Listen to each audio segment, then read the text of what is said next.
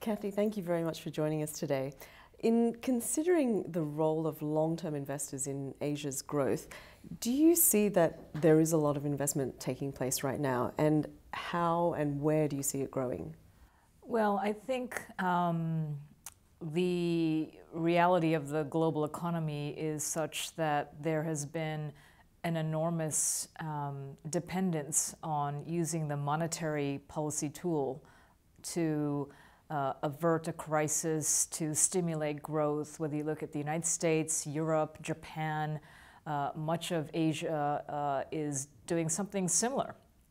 And so when you bring interest rates to very low, sometimes artificially low levels, you're going to uh, obviously see um, pools of liquidity uh, that have um, perhaps limited options uh, for allocation, uh, say in a domestic economy or within a small, you know, sort of uh, context.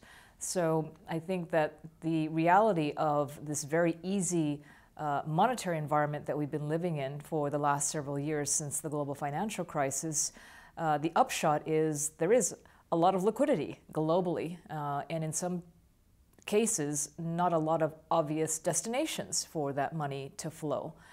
Um, now, however, as we've kind of um, progressed with time, there's been more of a normalization process, be it in the developed economies uh, or elsewhere. Now there's a little bit of confidence or certainty that's uh, we sense at the micro level that's coming back uh, to corporate executives, for instance, who are now uh, sitting with very healthy balance sheets. If you look at especially the U.S., even companies in Europe, the biggest companies in Europe, the biggest companies in Japan, they're awash with liquidity um, and if uh, confidence does come back, now they have the ability to decide so, do I invest? Um, if the answer is yes, do I invest at home or do I go abroad? Uh, in the Japanese context, uh, particularly because the yen had been so strong, there was uh, no desire to invest at home and every desire to go abroad, especially in uh, the rest of Asia. So the FDI flow uh, pool was very, very large. And uh, coupled with that, of course, is M&A. And so you're seeing not only the, the, the, flush liquidity you know, factors at play, but also the reality that globalization is speeding everything up. So if you're a predominantly domestic manufacturer or domestic service provider in any economy, especially in, in Asia, uh, you've been forced to look abroad and perhaps rather than greenfield approach, building from scratch, uh, reinventing the wheel yourself, you acquire uh, another business um, that already exists and invest and grow that way. So I think the bottom line is we're going to continue to see uh, more and more liquidity, uh, desperately seeking, you know, high return investment destinations, whether it's direct investment, portfolio investment. Uh, most of the region's saving, uh, uh, savings pools, be it the household sector and the corporate sector, are pretty healthy. so uh, trying to find um, appropriate destinations for this excess cash and excess liquidity, I think, is going to be uh, the challenge ahead. So, do you see that the flows that we've seen from uh, some of these uh, places that have been flush with cash are going to continue to come to Asia, or, you know, is Asia now getting a little bit less attractive? Yeah, I think, you know, speaking um, in my role with um, a lot of institutional investors globally, whether they work for pension funds, sovereign wealth funds, mutual funds in America, uh, et cetera, um, I think the bottom line is even though Asia perhaps had, has had some uh, reassessments or you know people are questioning you know is what's China's long-term growth potential, uh, what's going to happen to India, etc. Uh, I think very few people would uh, disagree with the statement that Asia is going to continue to lead uh, global growth uh, going forward. Um, however, I do think that people are wondering so rather than everywhere is homogenous in Asia, there is clearly differentiation uh, at work.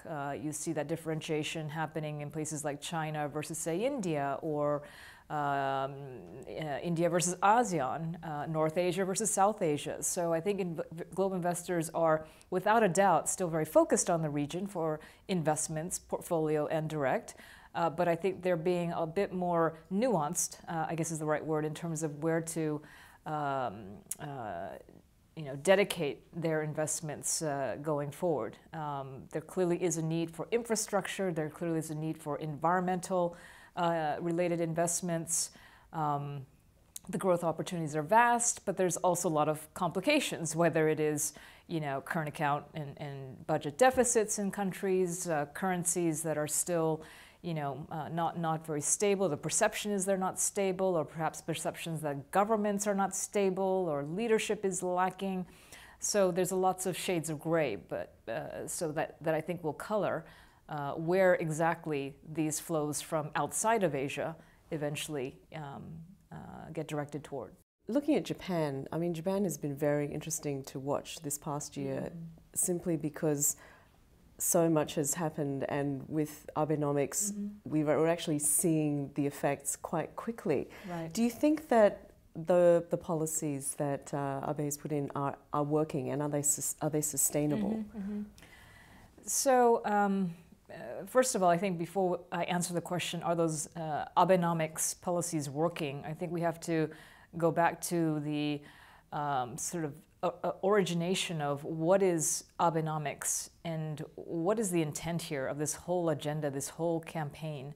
And for me, I think it is very simple, and that is uh, if you've got these huge uh, headwinds which are facing an economy that are called the demographic challenges, the very large fiscal uh, burden that the nation carries, there is really no way you're going to come out of any of those uh, challenges if your economy remains mired in a deflation trap. So, very simply for us, Abenomics is this mission to simply get Japan out of deflation and hopefully grow the economy on a more sustainable basis uh, through reforms. So, that's sort of in a nutshell what I think is the definition. So, to answer your question, do I think it's working? Well, uh, so far, uh, what we've seen is the stock market's up over 70% from its lows in the past 12 months. We've seen the property market go from stagnation to now people are buying condominiums, they're taking out mortgages. Prices, commercial, residential, almost across the nation are actually uh, lifting finally after a long uh, period of malaise uh, department store sales of luxury goods. You know, you thought Japanese were satiated, but doesn't seem like. so they've come back, and luxury goods sales are up in some cases 15, 20, 25 percent uh, year on year.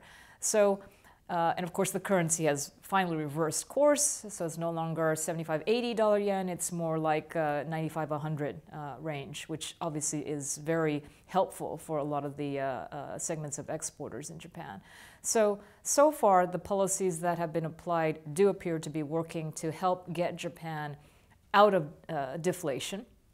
But the second uh, answer, or part of the answer, of course, is is it sustainable? Uh, and, and clearly, to make it sustainable, Japan faces the exact same challenges that the United States faces with uh, QE and exiting from QE that, that Europe faces with its uh, challenges as well, and that is these, what I call economic policy or macro policy tools, of course, help you kickstart your economy, uh, um, can um, buy a bit of time, but those policy tools we all know alone, in and of themselves, are not going to drive sustained growth.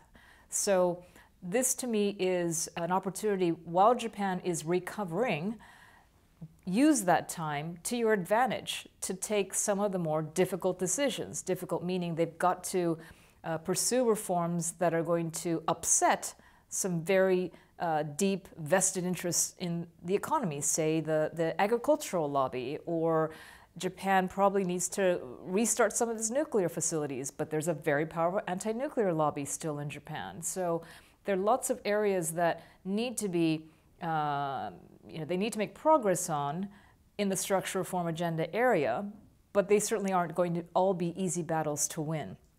But I think that that's going to be the next uh, challenge for uh, the other regime. And do you think that there is the political will to do that and also the willingness among Japanese people to, to live with those kinds of reforms? Well, I, I, think that's the million dollar question. You know, is there enough political leadership, which clearly has been sorely lacking for many, many years in, in Japan? Um, but I think that Um, one factor in particular, I believe that the combination of A, the European sovereign crisis, which I think really hammered home to the average Mrs. Watanabe uh, in Japan because that European crisis, the streets of Athens on fire, the Spanish youth unemployment, that was broadcast to the nth de detail into everybody's living rooms for the last you know two or three years, uh, meaning that Japan, we all know, has much larger debt to GDP ratio than any of these peripheral European economies uh, had, and yet J Japanese people thought, well, it's okay, we're, we're living fine, um, that's their problem, not ours, until it wasn't, right? Until you saw what happened in Europe. So I think that reality check was very helpful to create a sense of urgency. And the second was probably Tohoku, the disaster, which um, you don't think a natural disaster would have that kind of impact, but the number one impact, of course, was to shut down all nuclear power, which meant from 30% of Japan's you know, electricity generation to zero overnight. And that meant that Japan had to make up that shortfall by importing very expensive fossil fuels, which caused the trade account to go from the black to the red. Um, and of course, Japan cannot continue to sustain this very high debt to GDP ratio if the current account goes into deficit. Uh, the current account's still in surplus today, but people are now, you know, taking bets on, on how that's going to continue. So I think those events probably um, uh, culminated in public uh, the consciousness of Japanese people saying, okay, enough is enough. And I think the LDP, Prime Minister Abe uses uh, the quote from Margaret Thatcher, Tina, there is no alternative. Or you go to the LDP's headquarters and I get told, this is, you know, Japan's last chance. You know, you don't have to speak Japanese to understand those words. So there is a sense of much greater urgency this time around versus, you know, previous sort of attempts to do these uh, structural reforms.